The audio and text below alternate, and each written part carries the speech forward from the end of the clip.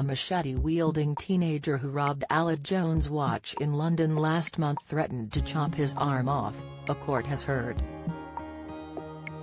The 16-year-old, who can't be named for legal reasons, made the threat in order to steal the 52-year-old singer's £17,000 Rolex.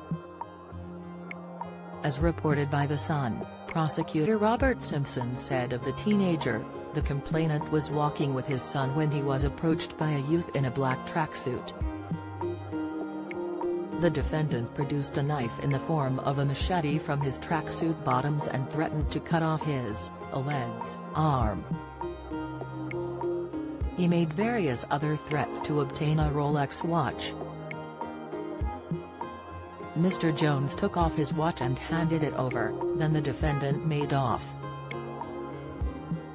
Express.co.uk has contacted a representative for Aled and Wimbledon Magistrates Court for comment. The court was told the culprit was captured on CCTV as he fled the scene. He is said to have turned up two hours late for his court appearance today, by which time his solicitor Garo de Piazza entered a guilty plea on his behalf for a charge of robbery and possession of a bladed weapon. Once he did turn up, alongside his father, he pleaded guilty. The teenager was then bailed and ordered to appear at another youth court for sentencing next month.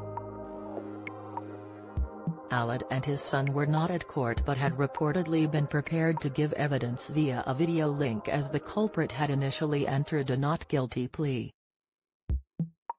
While on a video screen, the judge told them they would not need to give evidence. Police are said to have found the weapon in the teenager's bedroom when he was arrested and he was also in the same clothes he wore to commit the crime. The incident happened when Aled was strolling through Chiswick in West London with his 18-year-old son Lucas last month. The pair both took part in an ID parade, where his son was able to identify the defendant. Aled said the incident left him shocked and shaken.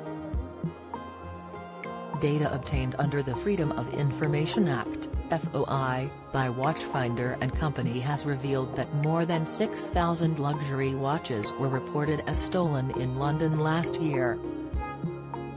Rolex is said to be the most targeted brand by thieves.